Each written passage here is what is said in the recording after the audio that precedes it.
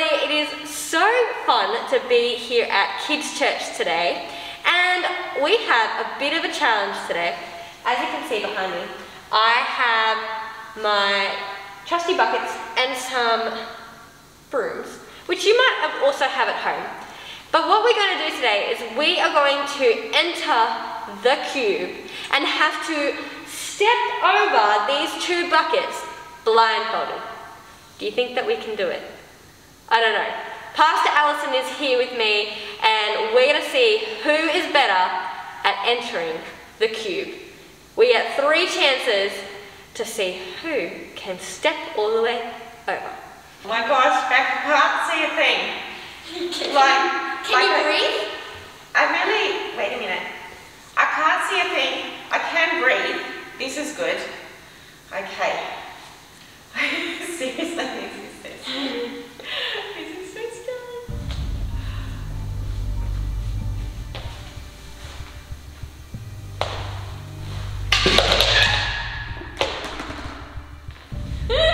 Whoops.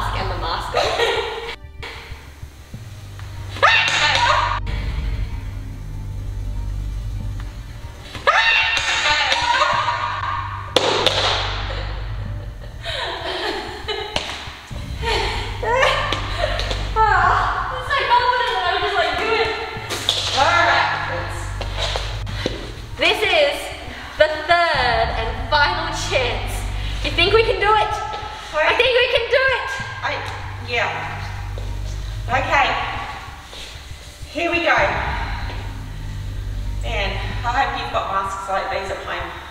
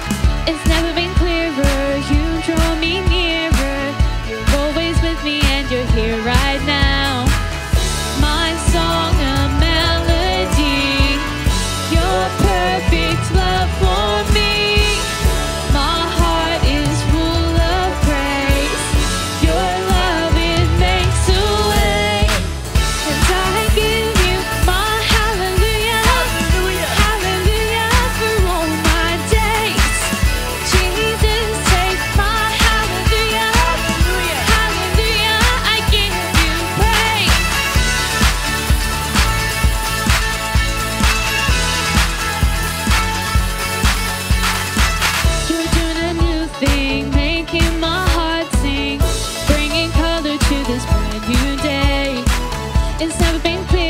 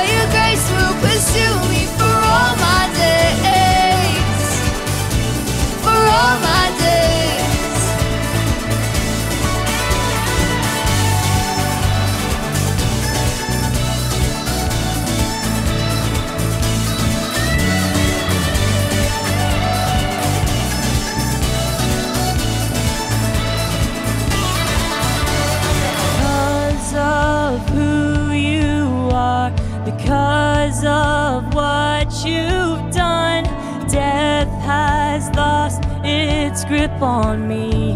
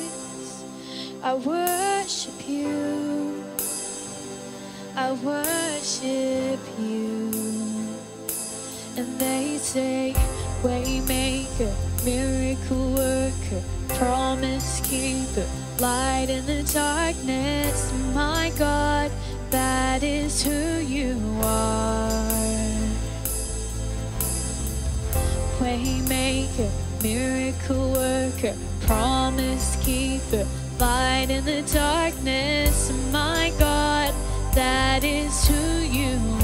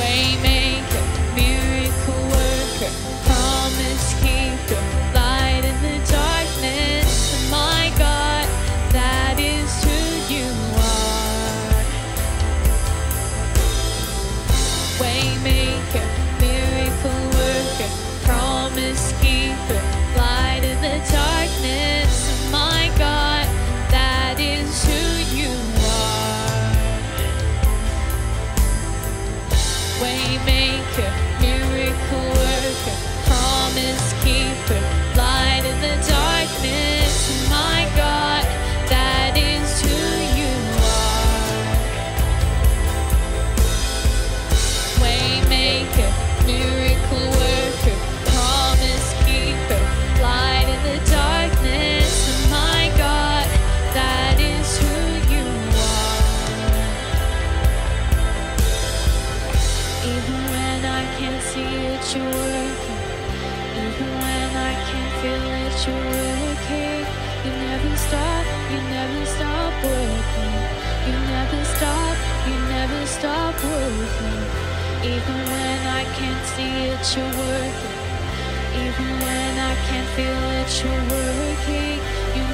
Stop, you never stop working. You never stop, you never stop working. Even when I can't see it, you're working. Even when I can't feel it, you're working. You never stop, you never stop working. You never stop, you never stop working. Even when I can't see it, you're working. Even when I can't feel it, you're working. Stop working. You never stop, you never stop working. Waymaker,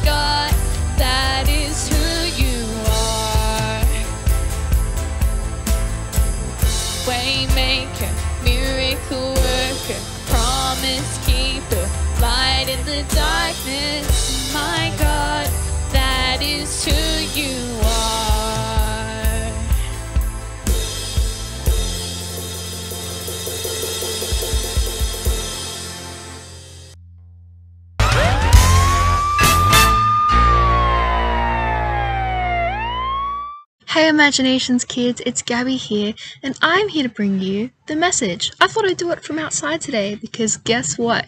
It's springtime, and springtime is probably my favorite season. You know, I love being warm, and I really, really love summer, but spring is my favorite because there's flowers everywhere.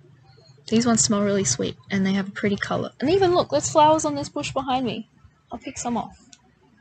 It's not gonna, it's not gonna work. You can't really see it, but they're purple and they're pretty. And the bees are out. The bees love all the flowers.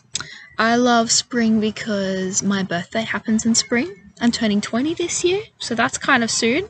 I love that all my plants give me new leaves. Look, this is a new leaf. And they keep growing and growing when it gets warm. So spring is a really good time for them. And I love that the sun comes out. I love that I get to wear my short sleeves again and shorts. Who loves that? I don't know about you, but I don't like being stuck in winter clothes. I like to wear um, shorts and a t-shirt. I can wear thongs again. It's socially acceptable. People don't look at you funny. And I can put on my big hat and go outside and play. I can do some gardening. I can play with my cat outside. There's so many great things about spring. But you know, there is one kind of iffy thing, right? I love it and it doesn't work for me at the same time, and it happens in summer too. The sun comes out, which is great, but you know, I have a bit of a problem when it comes to the sun. Sometimes, right, I'm out in the sun for just the perfect amount of time and everything's great. But sometimes I stay there for a little bit too long. Happens a lot when I go to the beach. And I come back and I look a little bit like a salmon. My skin is bright red, it's burning, it's peeling. I don't know if that's ever happened to you, but ask my friend Sarah, it happens to me a lot. So what do I do? I put on my protection. I put on my hat. Protect myself from the sun. What do they say? Slip, slop, slap. I put on a shirt.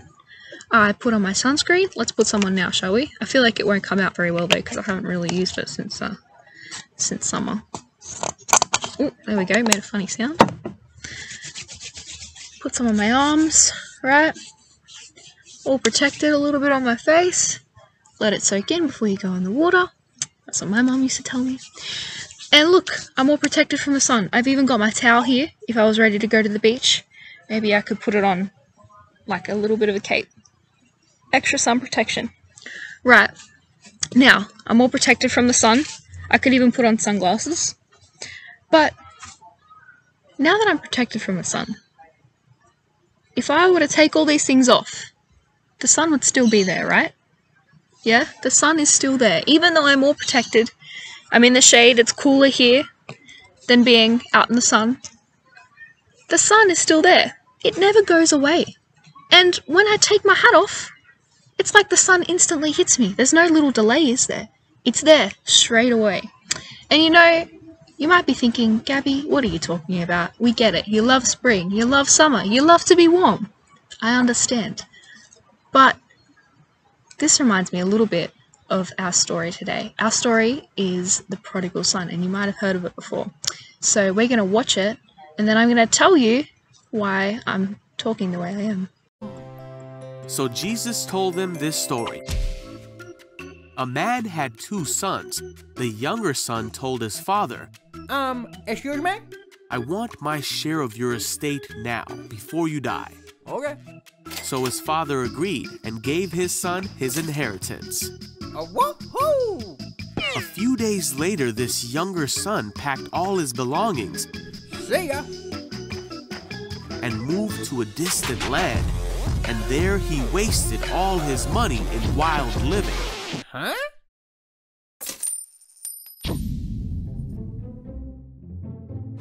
About the time his money ran out, a great famine swept over the land, Aw, man. and he began to starve. Hey, you! He convinced a local farmer to hire him, Thank and the man sent him into his fields to feed the pigs. The young man became so hungry that even the food he was feeding the pigs looked good to him. But no one gave him anything. Finally, he said to himself, At home, even the servants have food enough to spare, and here I'm dying of hunger. I know. I will go home to my father and apologize and ask him to take me on as a servant. So he returned home to his father. And while he was still a long way off, his father saw him coming. Filled with love and compassion, he ran to his son. Sir! His son said to him, Father, I have sinned against both heaven and you, and I am no longer worthy of being called your son. But his father said to the servants, Quick, bring the finest robe in the house and put it on him. Get a ring for his finger and sandals for his feet, and kill the calf we have been fattening. We must celebrate with a feast, for this son of mine was dead and now has returned to life. He was lost, but now he is found. So the party began. Wow, I love that story so much. Do you know what? That story is actually just like us and God. You know, our God is a heavenly Father who loves us no matter what we do. But sometimes we can still turn away from Him and go our own way. We can be like the prodigal son and live our life completely ignoring the Father until suddenly we realize that we need Him and we need to ask for forgiveness. You know, sometimes that's all it takes for us to realize that we've done wrong and to say sorry and to repent to not do that wrong thing again. But sometimes we realize that we've been living far away from God, but we think that God has left us. You know, it feels like He doesn't want to hang around us anymore, and so He went away. You know, today is Father's Day, and maybe you think of God just like your dad. And I know a lot of us have wonderful, fantastic dads who love us so much. But for some kids, maybe even you, you might not have a dad that's around right now.